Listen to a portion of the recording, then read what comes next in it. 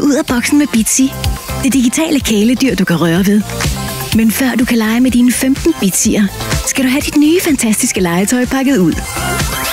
Start med at spørge en voksen om hjælp og find en saks. Glipser, try me flappen af. Skær taben i bunden af indpakningen over. Løft så flappen op. Skær tapen på siderne over. Løft og bøj så den øverste del af indpakningen. Løft derefter inderdelen og din bitsi ud.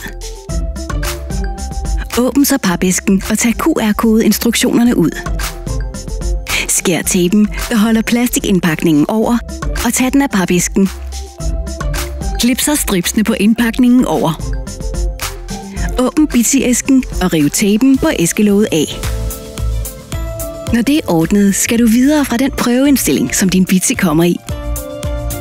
Riv så stikkeren i bunden af æsken af. Nu skal du bare swipe en enkelt gang fra venstre til højre. Wow! Din første Bitsy er klar til at møde dig. Hej med dig. Det næste trin for at lege med din Bitsy er at læse den tekst, der dukker op på skærmen. At kæle med din Bitsy er det første, du gør for at vise, hvor meget du holder af den. Man skal altid huske at begynde oppefra, når man kæler med en Bitsy. Den bedste måde er at sætte sin finger over displayet, sådan her. Og så stryge nedad hen imod dig selv. Sådan her. Aldrig sådan her. Når der kommer et grønt flueben, betyder det, at du har bestået første del af din Bitsy-prøve. Når du har styr på at kæle, dukker det her symbol op. Nu er det tid til at vugge din Bitsy til højre eller venstre. Wow, dit kæledyr trænger vist til en lille lur. Det næste symbol betyder, at du kan vugge din Bitsy frem og tilbage. Hundevalpen faldt fremover. Det her symbol betyder, at du er klar til at ryste din Bitsy. Start med at ryste den stille og roligt. Oh oh. Det ser ud til, at dit kæledyr blev lidt svimmel. Hvor fjollet. Det her symbol betyder, at du kan prøve at løfte din Bitsy hurtigt op. Hvor vildt! Dit kæledyr er seriøst god til at hoppe.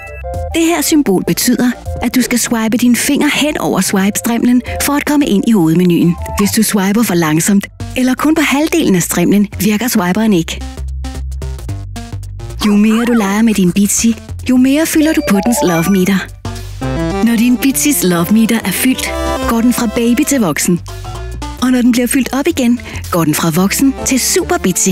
Super cool! Hver ny Super Bitsy giver dig en ny godbid. Brug den nye godbid til at tiltrække flere bitsier, så du får alle 15 figurer. Se om du kan åbne dem alle. Det bedste ved at udvikle din Bitsy er Super Bitsy-spillene. Hver Super Bitsy har sit helt eget spil, som det kan spille med dig. Først skal du swipe for at komme ind i menuen. Swipe så hen til spilikonet. Nu skal du bare røre ved spilikonet for at spille. For mere info, gå ind på bitsy.com.